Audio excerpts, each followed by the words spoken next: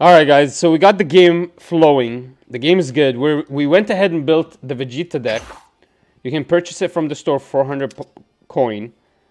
Deck is all right. We can go ahead and uh, edit it. But I literally have no extra cards. So what we're gonna do is we're gonna actually buy some booster packs. We're not gonna buy another deck.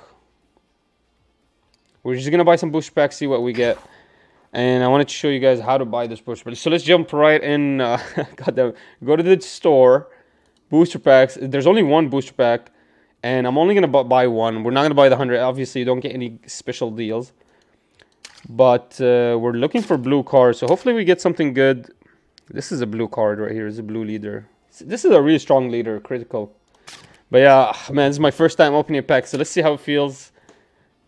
Can we max out? Okay, maxing out gives you how much you can actually get. So we'll just buy one pack.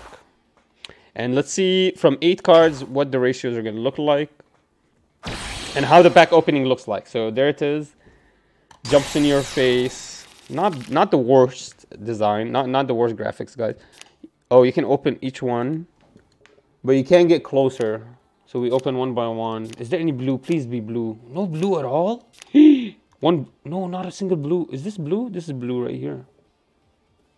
This is actually not the worst card in the game. This is crazy card, actually. This is actually really good card. And then, uh, no, we don't get anything blue. We only get one blue card, which is a Zamasu. But that only works really well with the Goku Black. Unfortunate. So yeah, that's the pack. We literally cannot use anything except this one. This Sinister Sickle is actually not the worst card in the game. Actually, we are going to add it immediately in the deck. But yeah, guys, like, it's pretty interesting. Uh, you can buy a booster pack. Let's see. We're to just go for blue. So yeah, as you can see, this is Zamasu, but you only get the permanent if you are a blocker. And we'll add one more card here. We'll have to remove one, and I believe we remove Piccolo.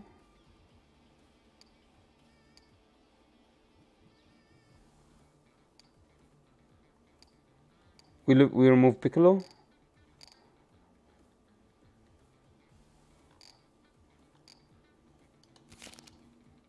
Or do we remove one of these uh, events? These events are strong. No, we'll, we'll remove Piccolo. That's fine. So that's really it. That's all we got to do here. And uh, that's it, guys. that's how it is.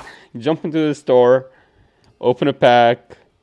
You can also buy more. I, I, believe you can buy two of the constructed deck and uh, and and then just basically fix your ratios. You could do that as well.